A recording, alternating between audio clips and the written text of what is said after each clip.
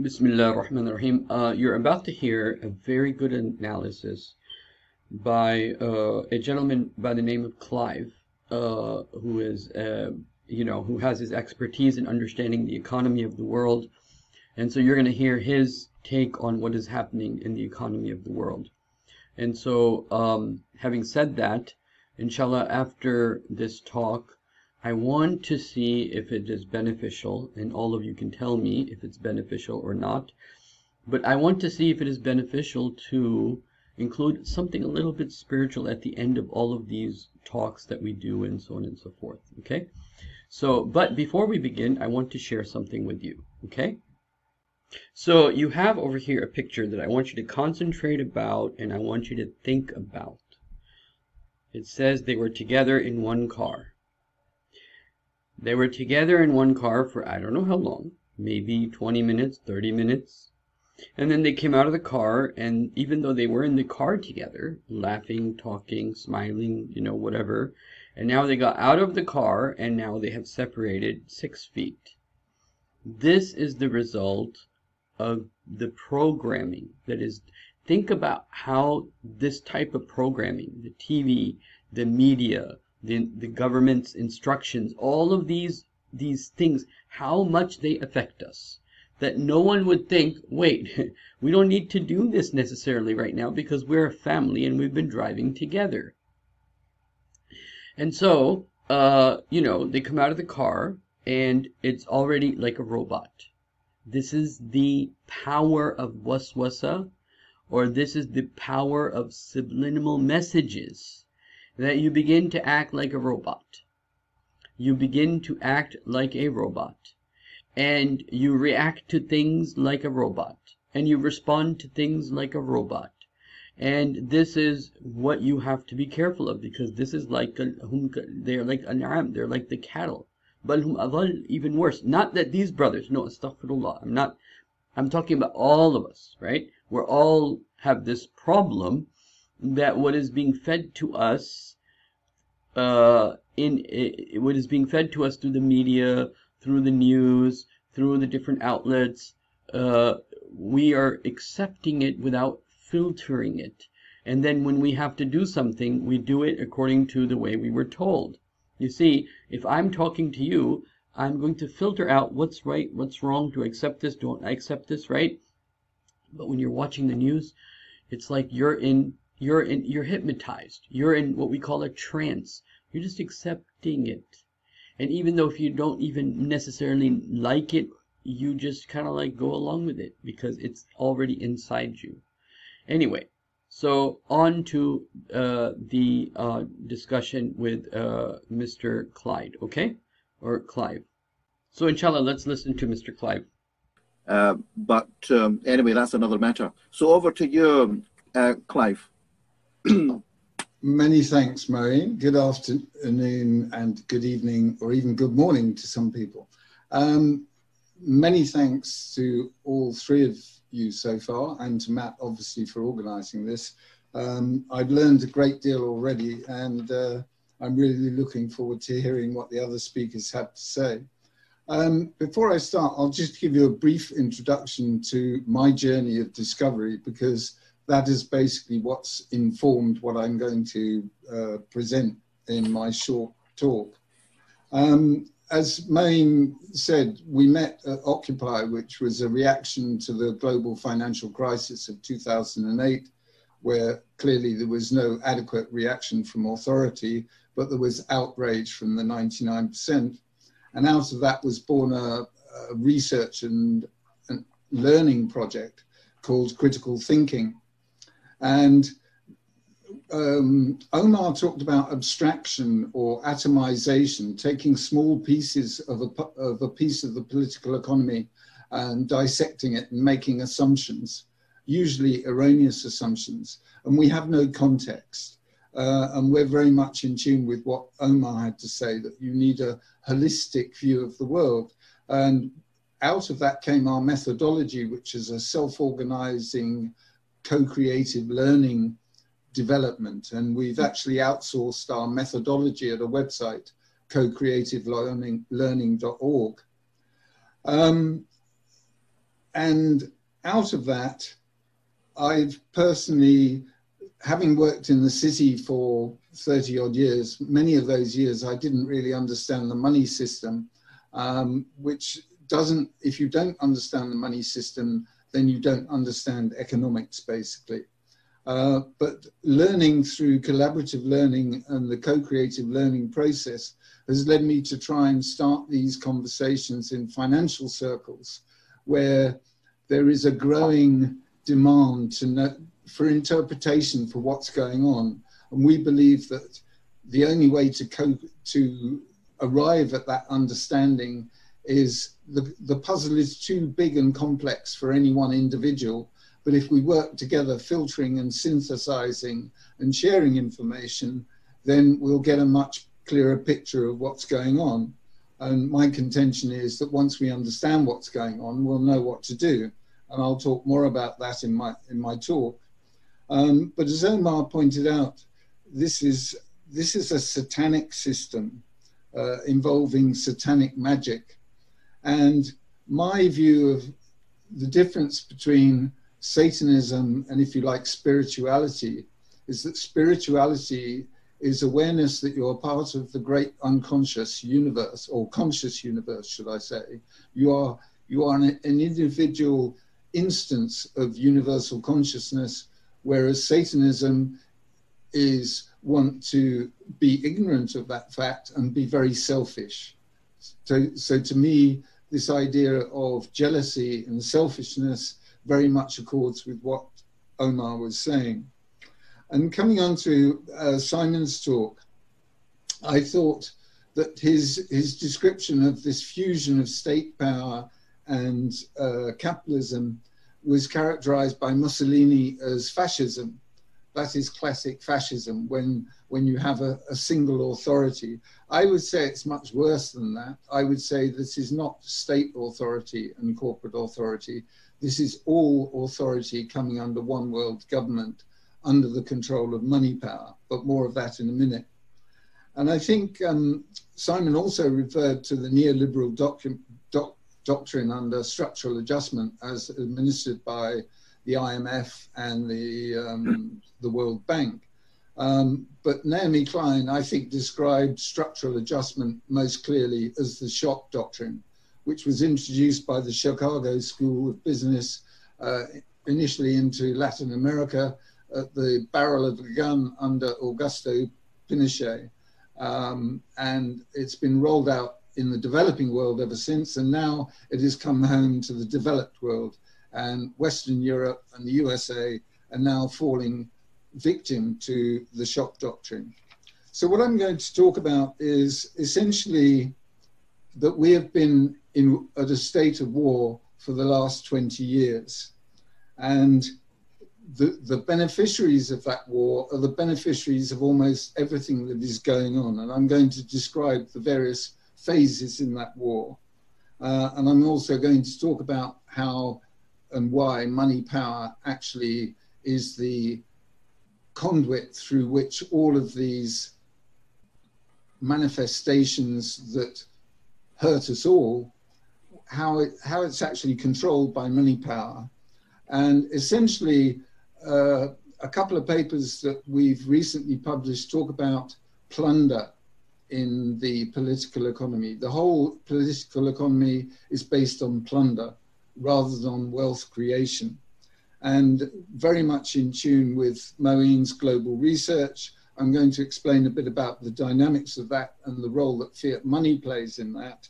And then talk about an alternative, because our contention is that if money power is centralized and that is controlling all the levers of power, then if we decentralize money, and we're going to argue that this is already happening, then we're well on our way to decentralizing all of the conduits of power. Uh, but more of that as we go through. So, first of all, to put the current situation in context, COVID 19 is what we regard as phase four in World War III or War on Us All. And the opening phase occurred in September 2001, and that opened the door for blanket surveillance, the technocratic society, And the war on terror was nothing other than the war on us all, because those instigating the war on terror were those who were actually saying that they were trying to stop it. They were feeding both sides of the conflict. And you can, there is plenty of evidence to suggest that as you go through Afghanistan, Iraq, Libya, Syria, um, there is always these these manipulated opposing forces, and we're beginning to see that unfold in the West. That was followed by the climate change narrative, which really took off, where people started to blame each other and themselves for their lifestyles, all on the basis of what I would call fraudulent science. Um, if you've studied climate science, then you will know that we are heading into a solar minimum, a grand solar minimum, which could well lead to another little ice age. Um, so the biggest risk is cooling, not not warming, but I'm not here to talk about global warming. The next phase occurred in the autumn of 2015 when all immigration controls were dropped in Western Europe and there was a huge migration of immigrants who were being used as weapons.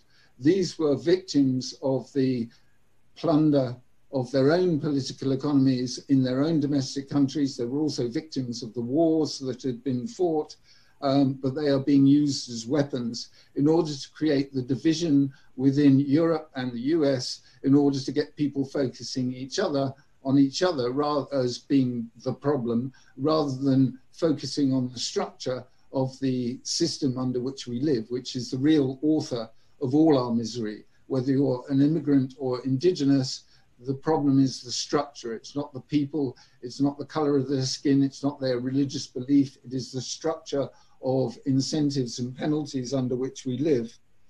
Um, so in my last presentation I gave at uh, one of Moeen's talks, Global Vision 2000 in December, um, I talked about all roads lead to Jerusalem because that is where money power is building its world government.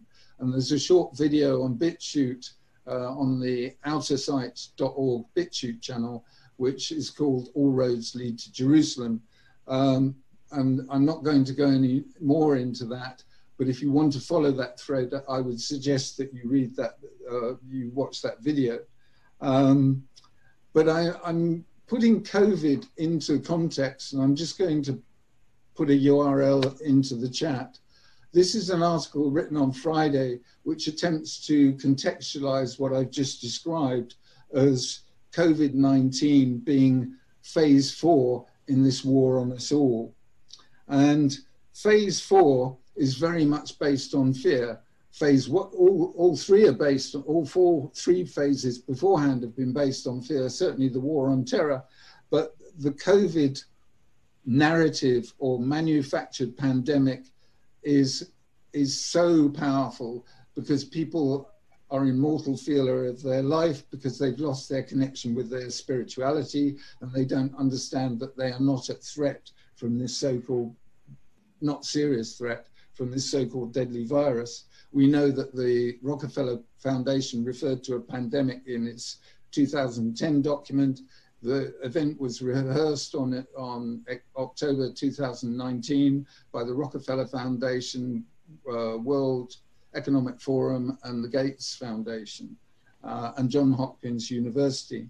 Uh, and that is basically what we're what was being prepared for that we're currently uh, undergoing.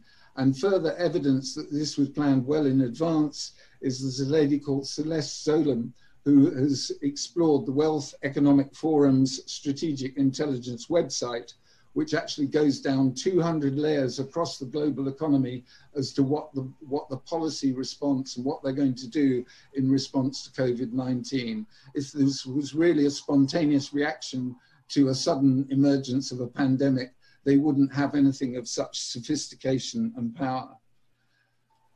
Our analysis at Critical Thinking came up with three fundamental flaws in the political economy. Institutional hierarchy, theft of the commons, and usury. And other speakers have referred to the usury based economy. And basically, money power is derived from its ability to create money from nothing, and it can do that because of usury. It wouldn't be able to do that without usury. And as I said, the political economy as a result of these three flaws, particularly hierarchy and theft of the commons, they are synonymous. You wouldn't, you wouldn't have hierarchy without the ability to steal wealth from others in order to reward those who support you. And similarly, you wouldn't have theft of the commons if there wasn't a reason to go and plunder other people in order to pay tribute to some higher authority in the institutional hierarchy. So they are synonymous, but they are exacerbated by this mechanical wealth transfer mechanism, which is usury or interest on money. But this, this political economy based on plunder isn't just based on wars or wars for conquest for territory or um, resources or even people. It's actually embedded within the economy itself and it manifests itself in so many ways in massive inequality, massive poverty, uh, poverty, uh, reduced life expectancy, reduced well-being, reduced healthcare. There are many references as to how this is created, and that that is, uh, if you like, contained within another paper that we've produced, which I'm also going to put into the chat, which is um, called "The End of the Age of Plunder," um, which basically, um, have I put it in twice? I might might have put it in twice. Hopefully, you can. The link will work. Um, and essentially, the age of plunder is looks as though it might be coming to an end. And Moeen and others have talked to this, talked about this global reset. And obviously, what Money Power has in mind is to reset the economy with a digital economy that everybody is tied to, probably conditional on being uh, vaccinated, being tracked, and many other conditions social distancing, etc. And then you will be given some sort of dispensation in the form of universal basic income. But at the same time, they're crashing the economy. So any wealth that is accumulated is going to absorb into the, the criminal banking system's hands, as it has every time, as it did in 1929 and as it did in 2008. Uh, and this global reset reset is occurring within unprecedented circumstances where we have massive inflation of the money supply through central bank issuing confetti money effectively, combined with governments basically collapsing economies through this so-called reaction to uh, a pandemic, which is clearly no worse than a threat than a typical flu and arguably much less toxic or dangerous to health than the vaccinations they're trying to foist on everybody. So when we talk about money power, we have to think about what is money and what is any money. Now, fiat money is issued by the, the ostensibly by the government, but it's not. It's issued by a private banking system under the authority of the government, ostensibly, but basically the power dynamic is the other way around. Money power controls governments because it controls the media, it controls academia, it controls the politicians, it controls the corporations. And so their fiat money system only has value because we believe in it. And the way they're trying to destroy it is reminiscent of what happened in 1720 in France when John Law, a Scotsman, had to flee France having crashed the the currency of the, of the country. Similarly, the Weimar Republic in the early 20th century overissued its currency and collapsed the economy. And this is the trick that is being conducted worldwide by most of the central banks, certainly those that are under the control of the privately controlled Bank of International Settlements in Basel, Switzerland.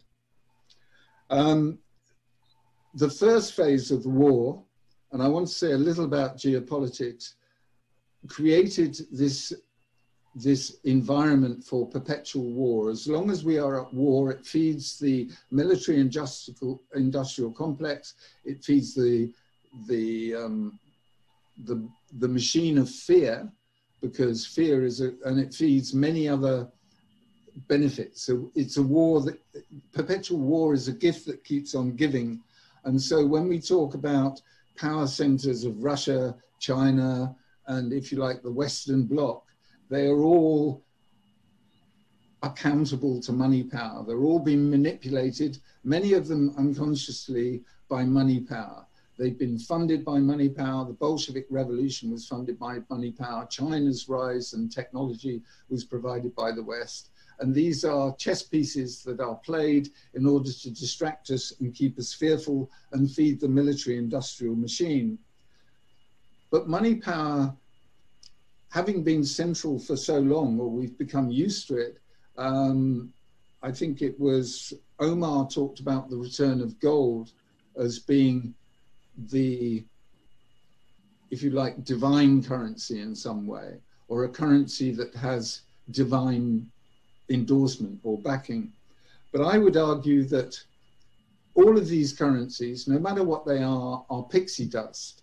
And pixie dust is essentially, it only works if you have faith and trust.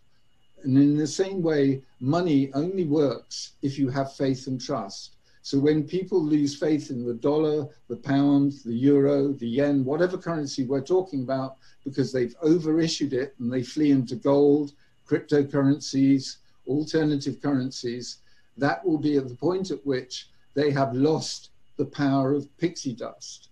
And therefore, if we're talking about how we get out of this mess, we've talked about, uh, I think Simon mentioned that credit will be scarce. And this is the power of the short side. At the moment, the global cartel banks and the central banks have the monopoly of money and they control the short side. Everybody wants money, but only they can dispense it, and they dispense it as we've amply seen over the last 10 years. They dispense it to their friends and their cronies and the people that they favor. Um, but at, and pixie dust is also going to be provided to the people in the form of u- universal basic income. This is the carrot with the digital currency and the mark of the beast or the microchip to prove that you've been vaccinated. And once you've got that, then you can get your universal basic income. That's just another form of pixie dust. And if you take if you take it and believe in it, then it has value. But our our contention is that we can break this cycle of monopoly power and centralized money by decentralizing currency. And the last two papers that we produced and what the age, end of the age of plunder refer, refers to is that there is, is already a dynamic away underfoot that is actually creating alternative currencies beyond gold, beyond silver, beyond local exchange traded schemes, beyond local currencies. Um, the this decentralized finance environment is beginning to not only emerge but to thrive. And it was kicked off arguably by the introduction of the Unlawful Internet Gambling Act Enforcement Act of 2006 in the US, which didn't actually outlaw gambling, but it made the acceptance of funds for gambling, online gambling purposes illegal. And the gambling companies also were working in an environment where the internet was beginning to give birth to all sorts of new ideas, one of which was virtual worlds, virtual currencies, and you had this fusing together or coming together of a need of the gambling industry to find a way of transferring money at low cost without high credit card charges and all the rest of it and some circumventing legislation, and had had the virtual world um, who offered the solution in the form of currency wallets and tokenization. And this paper, The End of the Age on pl of Plunder, is putting forward not only the, these foundations that already exist in which to create this decentralized money, which basically means that rather than having to rely on universal basic income which you will get only on satisfying certain conditions, that this is pixie dust for all that can be used for all reasons and all seasons. And a lot of the, the if you like, ideas for decentralized finance come from the development of the internet and the free software movement itself, because most of the internet, even Microsoft's web services, Apple's web services, most of the routers, all of the infrastructure is is dependent on free software. That's where Windows originated. It's where Apple Mac originated. Everything is created from this free software movement. And basically, we move, if, if we move to a decentralized currency, we, uh, we move from a, a system that is driven by exchange value, which is determined by the short side. In other words, it's the providers of capital and money um, who dictate the terms of our acceptance. Or if we have decentralized finance, then we move to use value. Um, we produced a short video which is referenced in the paper called Rubber Dub Dub, the butcher, the baker, the candlestick maker, tokenization in seven days. And in that we explain a mechanism that actually tries to recreate the social glue that used to exist before hierarchical system uh, civilizations emerged, where there was a feeling within societies and tribes and groups of mutuality, where there wasn't an actual physical accurate accounting of every favor or every gift, but there was a constant process of reciprocation because there was an, a necessary understanding for survival that was based on co-creative, co-creative development, collaboration, sharing. In other words, reciprocation. So you do me a favor, I do you a favor. Your house suffers the roof collapsing, we all come round and help. And one day when one of us is in need, everybody else comes to help us. And this is the fundamental concept that underpins this uh, idea of decentralized money and tokenization. And it expresses itself in two primary ways. One is in what we would describe as project tokens. And this provides, at the moment, if you want to get money to start a project, whatever it may be, you have to go cap in hand to the bankers or to somebody else. The idea of project tokens was pioneered in, in 1820 in the wake of the Napoleonic Wars when Guernsey, an, uh, an English protectorate off the south coast, um, had no economy basically they were destitute. Their seawalls were crumbling, their infrastructure was inadequate, it was, it was failing, and they had no market, no commerce. So they went along to the, the UK representatives and explained their problem. He said, um, well, what's your problem? They said, well, we have no money. And he said, well, do you have men and uh, labor? And they said, yes. And do you have materials? And they said, yes. And they said, he said, well, what, what, what's the problem? And they said, we have no money. So he suggested they create their own, and that's what they did. They created enough money to start buying the materials, paying the people to repair the seawalls, repair the, the infrastructure, and build the market.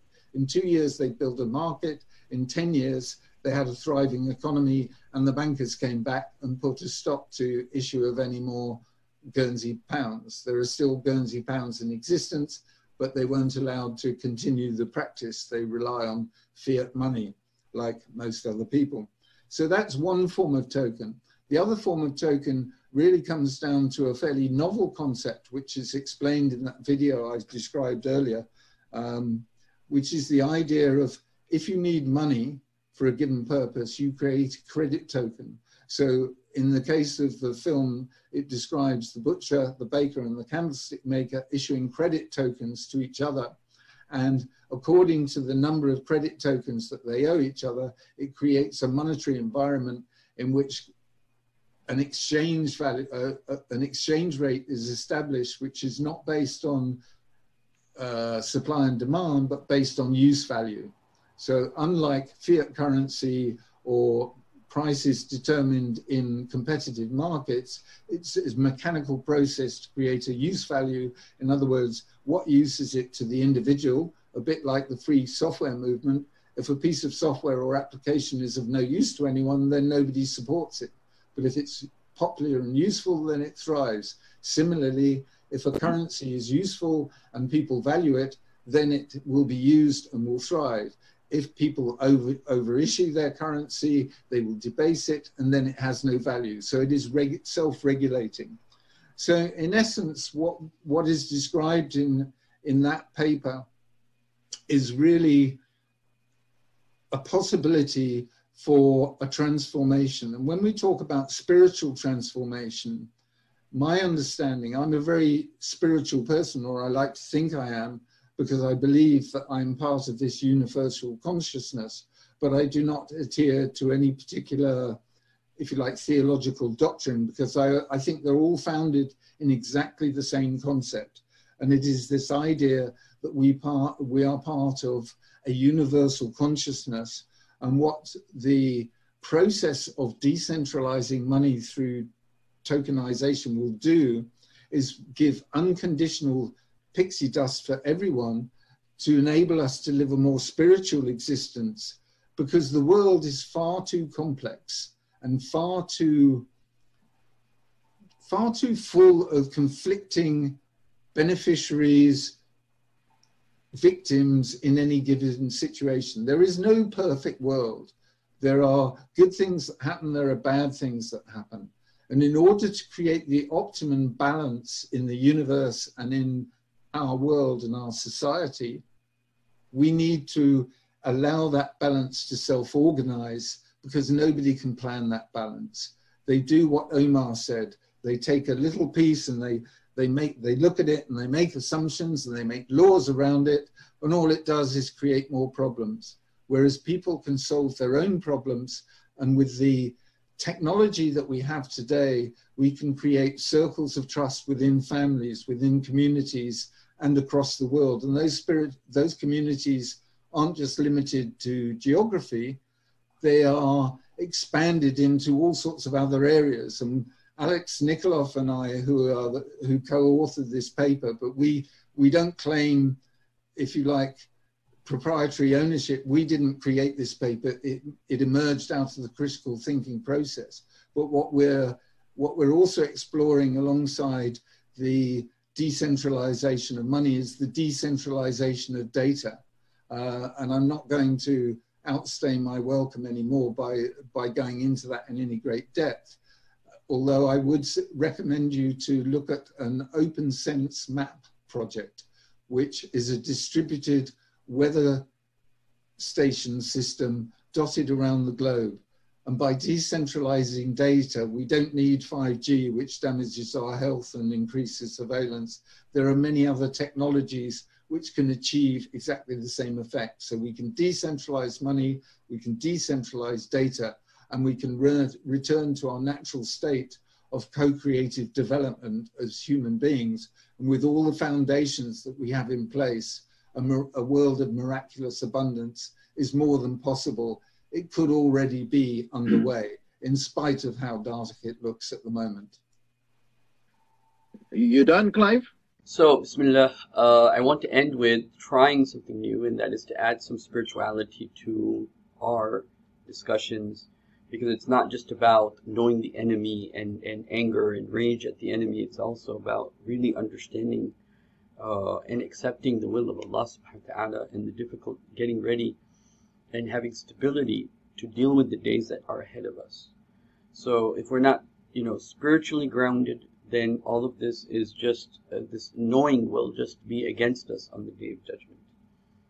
So I want to start with the very first thing, okay, which is أعوذ بالله من الشيطان الرجيم. I want to start a type of remembrance of Allah that has to do with the Quran and one that includes uh, different forms of, you can say, reinforcement that counters what I was talking about before about the media coming up into us and getting us to do things in a robotic way.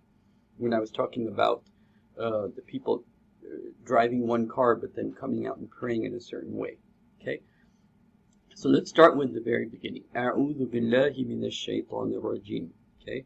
I want you to imagine, okay, visualize, that you are seeking and begging and broken and you are being like stabbed by these devils from right, left, and center, right? And you are calling out on Allah subhanahu wa ta'ala during this time uh, that Allah, you protect me, you give me shelter, and I do kufr, I do, I seek your refuge, I take your help away from all of these shayateen. Now somebody might say, what is the proof of that in the Quran and the Sunnah? I will give it to you. One day the Prophet ﷺ was sitting and he was pushing something, pushing something away from him. And there's more than one version of this narration. Abu Bakr saw that and asked the Prophet ﷺ, and the Prophet said that Shaitan was bringing me this image and I was pushing it away. Okay, and so uh, I want this is called visualization. Okay, and it is very very effective uh, in terms of bringing rooting something into your heart. Okay, so now uh, let's uh, do this, inshallah ta'ala. Uh, let's do this for about, uh, so now imagine this, okay, and just say, A'udhu Billah, you are begging Allah to protect you from shaitan al-rajim, okay? And so, A'udhu Billahi minash shaitan al-rajim, A'udhu Billahi minash shaitan al-rajim, A'udhu Billahi minash shaitan al-rajim. If you remember, uh, the mother of Maryam, أعيذها وذريتها من الشيطان الرجيم. She prayed to Allah protection from shaitan, right, and all of its forces, and for its for the children. So now, when the Prophet ﷺ gathered Hassan and Hussein, he would ask Allah for protection for them. Uh, uh, you know, Allah would do isti'az for them. Uh, uh, the Prophet ﷺ would do isti'az on Hassan and Hussein أعيذوهما I seek refuge for both of them, the Prophet would say, sallallahu alaihi wasallam. So now, أعوذ بالله من الشيطان الرجيم, knowing that you're attacked by your enemy, left, right, and center, and you are absolutely helpless without the power of Allah, without the help of Allah subhanahu wa ta'ala.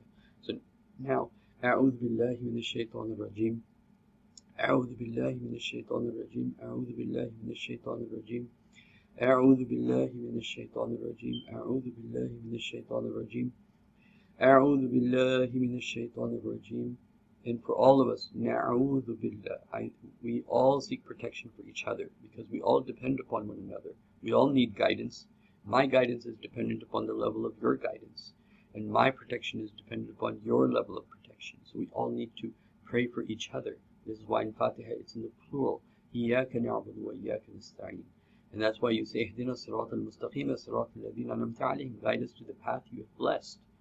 So, أعوذ بالله من الشيطان الرجيم أعوذ بالله من الشيطان الرجيم أعوذ بالله من الشيطان الرجيم أعوذ بالله من الشيطان الرجيم أعوذ بالله من الشيطان الرجيم أعوذ بالله من الشيطان الرجيم أعوذ بالله من الشيطان الرجيم. أعوذ بالله من الشيطان الرجيم. أعوذ بالله من الشيطان الرجيم. أعوذ بالله من الشيطان الرجيم. أعوذ بالله من الشيطان الرجيم.